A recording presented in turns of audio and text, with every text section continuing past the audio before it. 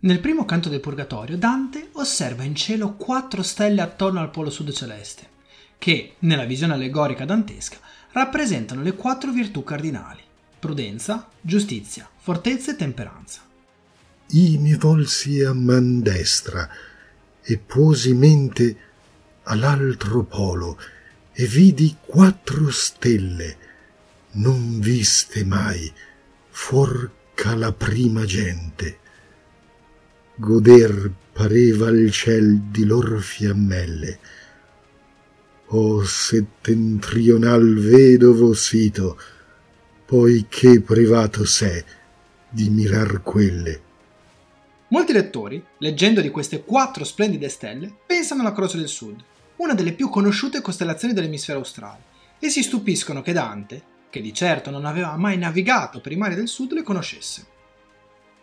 In verità, se ci si limita al testo di Dante e ai fatti storici, non c'è in questi versi nulla di misterioso. Innanzitutto, Dante parla genericamente di quattro stelle brillantissime in prossimità del polo sud australe e non dice nulla sulla loro disposizione. Per spiegare cosa siano quelle quattro stelle che nomina il poeta, possiamo considerare due alternative. Secondo la prima ipotesi, Dante si riferiva a stelle reali elencate nel catalogo di Tolomeo. Infatti, il poeta, sempre molto attento alle questioni astronomiche, aveva consultato il catalogo di Tolomeo e vi aveva individuato un gruppo di quattro stelle e uno di tre stelle in posizioni opposte rispetto al polo sud celeste e le aveva usate come allegorie delle virtù.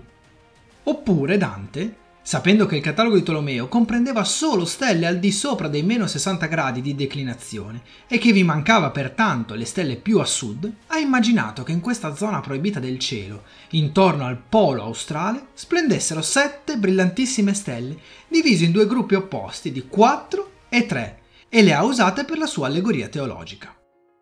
Ovviamente Dante non vide mai la Croce del Sud, ma egli sapeva, come gli uomini eruditi del suo tempo, che a causa del fenomeno della precessione degli equinozi, scoperto da Ipparco da Nicea nel secondo secolo prima di Cristo, le stelle si muovono in cielo cambiando, su tempi scala molto lunghi, la loro posizione.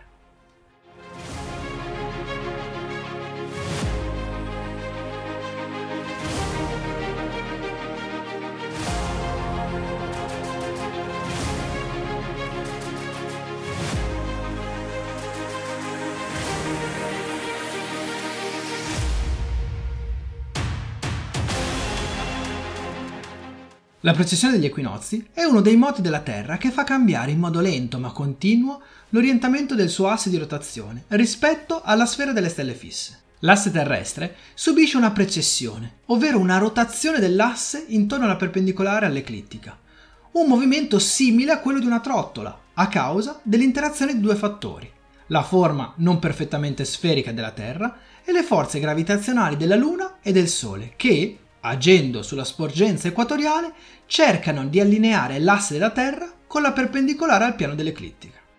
Il risultato è un moto di precessione che compie un giro completo ogni 25.772 anni circa, periodo noto anche con il nome di anno platonico, durante il quale la posizione delle stelle sulla sfera celeste cambia.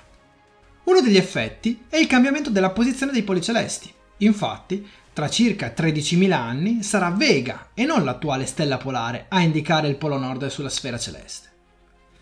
Le quattro stelle della Croce del Sud erano note sin dall'antichità, anche se non come una costellazione a sé stante. Erano infatti facilmente visibili dall'Africa del Nord e in particolare da Alessandria d'Egitto, che fu per secoli il principale centro scientifico e culturale del mondo antico. Tolomeo che viveva ad Alessandria, le elenca nel suo catalogo tra le stelle del Centauro, con il nome del Piede del Centauro, comprendendovi anche Alfa e Beta Centauri. Al contrario, i romani chiamavano queste stelle il trono di Cesare. Ma poi la costellazione, visibile dai crociati che occuparono Gerusalemme, scomparve dall'orizzonte del Mediterraneo.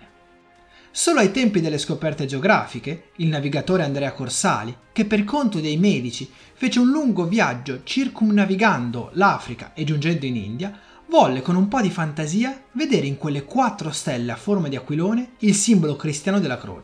Egli scrisse un resoconto pubblicato nel 1516 in cui dice Sopra di queste apparisce una croce meravigliosa nel mezzo di cinque stelle, che la circondano con altre stelle che con esse vanno intorno al polo girandole lontano, circa 30 gradi, e fa suo corso in 24 ore. Ed è tanta bellezza che non mi pare ad alcun segno celeste doverla comparare. Due secoli dopo, nel 1679, l'astronomo Augustin Royer ritagliò quelle stelle dalla costellazione del Centauro, creando la nuova costellazione della Croce del Sud. Questa costellazione, pur essendo la più piccola del cielo stellato, era da tempo divenuta il punto di riferimento dei navigatori dei mari del Sud e ancora oggi compare sulle bandiere di alcuni paesi australi. Tuttavia, a causa del fenomeno della precessione degli equinozi, quelle quattro stelle che una volta erano visibili anche nell'emisfero settentrionale, oggi sono visibili solo a coloro che abitano al di sotto dell'equatore. Dante, vissuto nel periodo in cui la Croce del Sud non era visibile e non era ancora stata riscoperta dall'esplorazione del XVI secolo, aveva conoscenza dei moti celesti e sapeva non solo che le stelle si erano allontanate, rendendosi invisibili dai luoghi abitati dall'umanità allora conosciuta, ma che anche l'uomo, e qui torna il significato allegorico, si era allontanato per sua volontà dalla guida delle quattro virtù cardinali simboleggiate dalle stelle in questione.